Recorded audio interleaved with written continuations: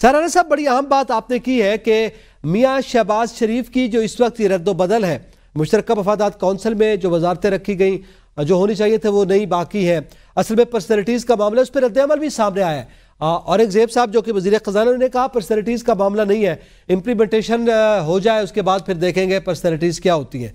तो आपने ये कहा है कि ये तीन चार माह की हुकूमत है मियाँ शहबाज शरीफ की।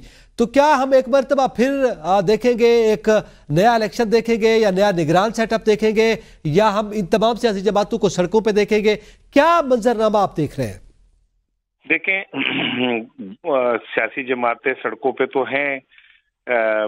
फजलुररहमान साहब ऐलान कर चुके हैं। पी, पीटीआई का जो है कल परसों रैली निकाल रही है। तो यही दो जमातें हैं ना।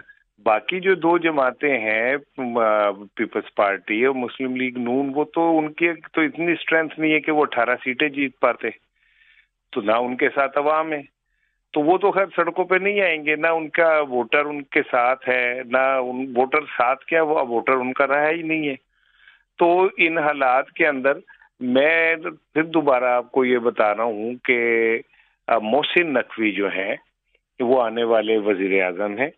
और कैसे होंगे, ये वो सब जानते हैं जो इस पाकिस्तान के निज़ाम के करता धरते हैं कि कैसे पाकिस्तान का, देखे ना, मोहसिन नकवी दो साल पंजाब के वज़ीर आला रहे। आइन कहता है, नब्बे दिन निगरान हुकूमत होती है। तो रहे ना, उनको कोई क्या किसी अदालत ने तलब किया? क्या किसी सुप्रीम कोर्ट ने उन्हें कहा कि आप नब्बे दिन के अलावा कैसे इतने लंबा अरसा वज़ीर आला रह सकते हैं? तो ये निज़ाम ऐसा ही है।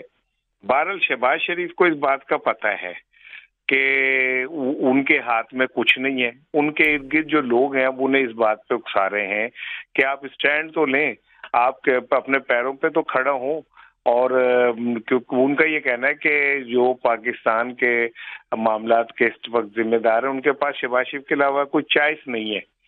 तो वो वो शरीफ को उकसा रहे हैं कि आप थोड़ा सा स्टैंड लें और ये जो ऊपर से पैराट्रूपर्स आए हैं, इनको आप ना माने।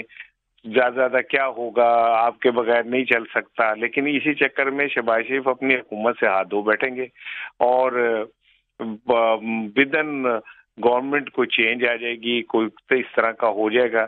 शहबाज शरीफ ने अगर बात ना मानी और वो अच्छे बच्चों की तरह उन्होंने एक्ट ना किया तो आने वाले चंद महीनों में उनकी छुट्टी हो जाएगी।